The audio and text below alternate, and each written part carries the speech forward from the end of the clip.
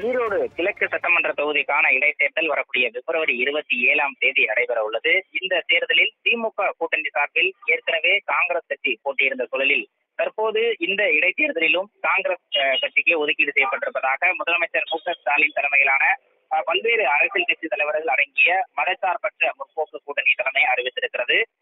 திமுக கூட்டணியில் இடம்பெற்றிருக்கக்கூடிய காங்கிரஸ் கட்சியினுடைய வேட்பாளராக முன்னாள் அஹ், கட்சியினுடைய தலைவரும் கட்சியினுடைய மூத்த நிர்வாகியுமான ஈவி கே இளங்கோவன் போட்டியிடுவார் என அகில இந்திய காங்கிரஸ் தலைமை அறிவிப்பு வெளியிட்டிருக்கிறது. அதன் தொடர்ச்சியாக பல்வேறு அரசியல் கட்சி தலைவர்களை குறிப்பாக தமிழக முதலமைச்சர் மு க ஸ்டாலின் மற்றும் அதன் தொடர்ச்சியாக கம்யூனிஸ்ட் கட்சி தலைவர்கள் விடுதலை சிறுத்தைகள் மதிமுக உள்ளிட்ட திமுக கூட்டணியில் இடம்பெற்றிருக்கக்கூடிய பல்வேறு அரசியல் கட்சி தலைவர்களை சந்தித்து ஈவி கே இளங்கோவன் வாழ்த்து பெறுவதோடு தான் போட்டியிடக்கூடிய சூழலில் தனக்கு தேவையான முழு ஆதரவை வழங்க வேண்டும் என்ற ஒரு ஆதரவையும் கேட்டுக் கொண்டிருக்கிறார் அதன் ஒரு பகுதியாக மக்கள் நீதி மையத்தினுடைய தலைவர் கமலஹாசனையும் சந்திக்க நேரம் கேட்டிருக்கிறார் ஈவி கே. சிலகோவன் இன்னும் சற்று நேரத்தில் அதற்கான நேரம் ஒதுக்கப்படும் பட்சத்தில் அவர் நேரடியாக ஆழ்வார்பேட்டை அலுவலகத்திற்கு வந்து கமலஹாசனை சந்தித்து ஆதரவு கோர இருப்பதாகவும் முதற்கட்ட தகவல் கிடைக்கப்பட்டிருக்கிறது.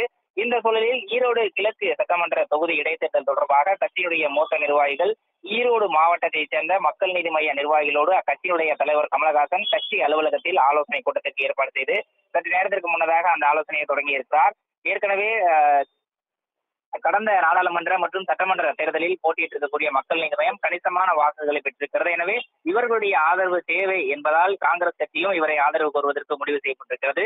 கடந்த சில தினங்களுக்கு முன்பாக ராகுல் காந்தி தலைமையில் நடைபெற்ற ஒற்றுமை இந்திய இந்தியாவுக்கான ஒற்றுமை பயணத்திலும் மக்கள் நீதி மையத்தினுடைய தலைவர் கமலஹாசன் பங்கேற்றிருந்தார். இந்த சந்திப்பின் மூலமாக இருவரும் ஒன்றிணைவதற்கு நேரம் வந்துவிட்டதாக பல்வேறு அரசியல் கட்சி தலைவர்களும் அரசியல் விமர்சகர்களும் தங்களுடைய கருத்துக்களை பகிர்ந்து கொண்டிருக்கிறார்கள்.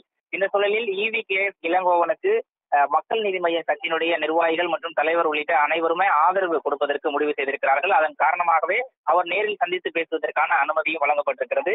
இன்னும் சற்று நேரத்தில் இவி கே எஸ் இளங்கோவன் மக்கள் நீதி மய்ய தலைவர் கமலஹாசனை அவருடைய கட்சி அலுவலகத்தில் சந்தித்து ஆதரவு கோர இருக்கிறார் அதே அடிப்படையில் ஆதரவு கோருவதற்கான தகவல் கிடைக்கப்பட்டிருக்கும் சூழலில் ஈவி கே முழு ஆதரவு வழங்குவதற்கு மக்கள் நீதி மையம் முடிவு செய்திருப்பதாகவும் முதற்கட்ட தகவல் கிடைக்கப்பட்டிருக்கிறது.